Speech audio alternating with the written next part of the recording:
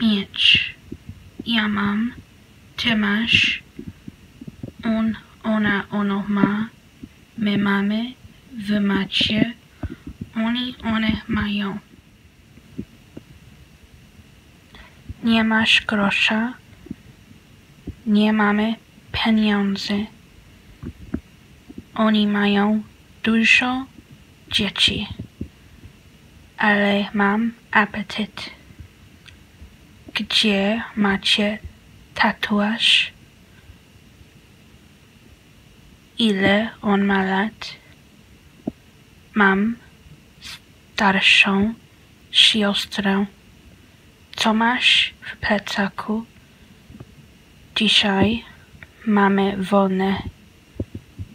Pan Nowak nie ma pieniędzy.